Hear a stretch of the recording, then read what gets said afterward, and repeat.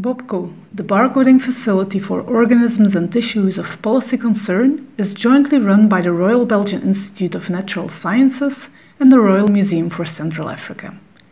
It is a service and expertise center for identifying biological materials of policy concern and their derived products upon request. This service is available for all stakeholders who deal with such materials and are in need of an accurate identification. Organisms of policy concern include, for example, endangered and protected species, disease organisms and their vectors, invasive alien species, agricultural pests, species of forensic interest, and organisms of the food chain. In this demo video, we will demonstrate how we at BOPCO handle requests for species identification. We will do so by following meat samples that were collected by journalists from the public TV station VRT in the framework of a Pano documentary about the bushmeat market in Brussels.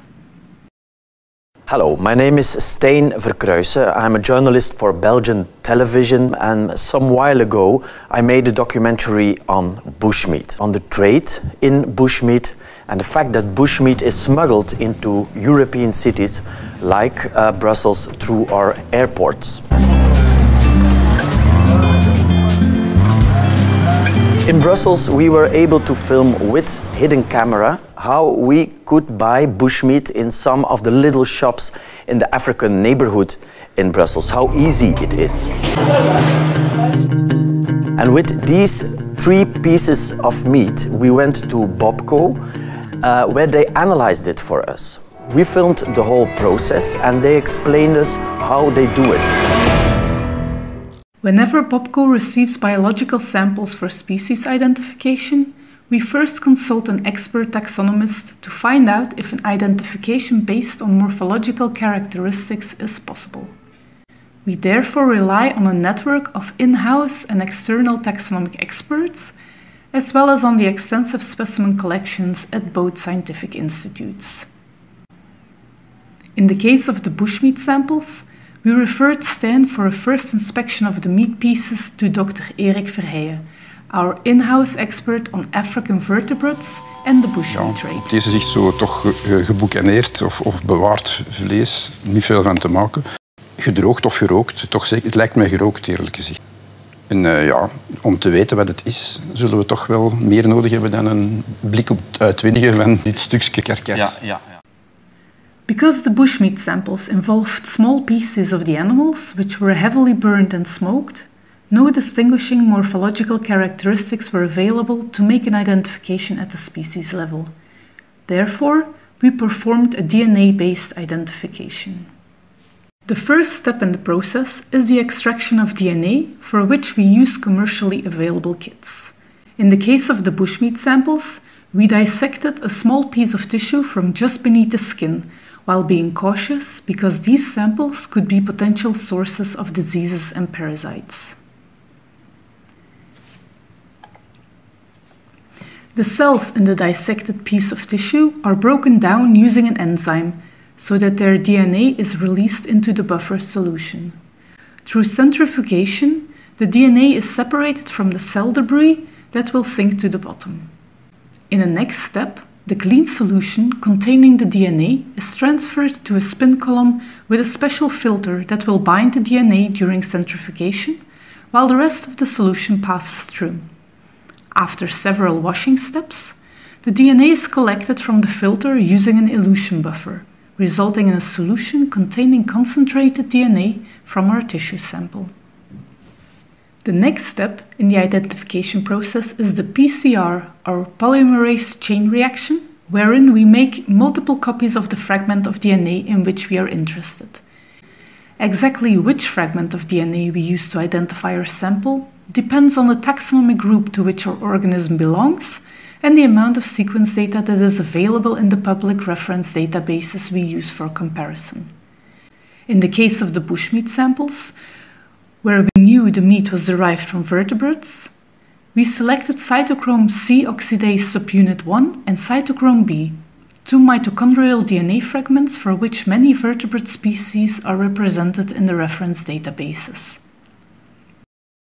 To make multiple copies of our selected fragments, We take our extracted DNA and add a polymerase enzyme called Taq, many of the individual building blocks of DNA called nucleotides, and a set of primers which is specific for the fragment we want to amplify. We then heat the mixture so the double-stranded DNA will denaturate and fall apart in two separate strands. Next, we cool the mixture so the primers can bind on both strands at the edges of the fragment of interest. Finally, an increase in temperature will initiate the Taq enzyme to incorporate nucleotides and synthesize a new strand of DNA that is complementary to the template DNA. This cycle is repeated 20 to 40 times each time doubling the number of copies of our fragment of interest. Once we have millions of copies, our fragment can be sequenced and this sequence can be compared to the reference databases in order to identify our sample. To do so, we use alignment algorithms and the sequences available in GenBank and BOLD as reference databases. If the species from which the sample was derived is represented in either one of the databases, our comparison will return a reference sequence with a very high similarity match. This sequence most likely represents the species identity of our sample. However, GenBank and BOLD are not complete, and often reference sequences for species or even entire genera are missing from the online databases. In such cases, specimens can only be identified to a higher taxonomic level. As a rule of thumb, the more species are represented in the reference databases and the more DNA fragments are compared, the higher the chance of reliable species identification. To increase our certainty about the correctness of the identification, we additionally perform clustering analyses and build a neighbor joining tree using downloaded reference sequences from the identified species and its close relatives. This allows us to check if the best matching sequence involves a potential mislabeling and if the selected marker can distinguish among sister species. Such extra analyses to examine the correctness of the reference sequences and the representation of sister taxa are crucial elements for the interpretation of the results from the sequence comparison and will determine the accuracy of the identification.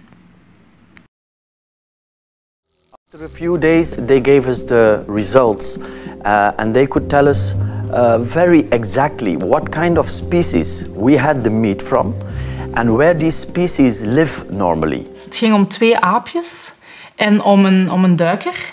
En we hebben die aan de hand van het DNA kunnen identificeren. Het gaat om de duiker is een blauwe duiker. En dan de aapjes hebben we de Brazza-meerkat en een roodstaartmeerkat. The results and conclusions of our analyses are summarized in a full report that provides the species identification, as well as an assessment of the reliability of this identification, an overview of the laboratory protocols used in the process, and basic information on the identified species, such as its protected status, the life history, its pest status and management, its geographic distribution, and so on, depending on the questions from the user. So I'm very thankful for this cooperation with BopCo because now we were able to document on this problem uh, and the result is that the government has started a sensibilization campaign uh, in Brussels airport to prevent the smuggling of bushmeat into Belgium, into Europe. Thank you. You are very welcome to visit our website in case you like more information on BopCo and its team members, on the different scientific projects we are currently working on and their various outputs, or on our species identification service. Here, you can also find a web form which allows you to request an identification of your samples. If you have any more specific questions concerning BopCo or DNA-based identifications, please do not hesitate to contact us directly.